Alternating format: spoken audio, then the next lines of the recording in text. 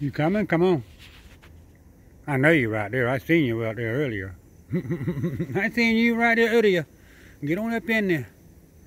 Get on up in there and get what you're going to get right there and all that good stuff right there. All that good stuff down there. You're going to get that good stuff. oh, Tiny Tim. That's him right there, Tiny Tim. I'm trying to move over to my my right so the fence won't be in the way, but he ain't gonna let me. He gonna run off.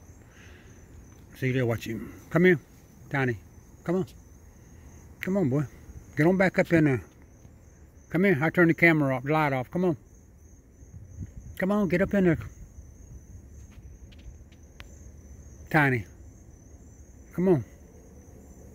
You ain't got to walk off. I don't know. He's come by four or five times a night. And uh, every time that he wants, you know, he wants to walk off. I know raccoon, that's all the pecans. He's mad because there's no more pecans in the bag. I got some pecans in the bag in there for the squirrels and the bird in the morning. But I'm going to save those for the squirrels and the bird. He's already eat his allowance of pecans. That raccoon eat his allowance. I'm going to stop this video. Stop.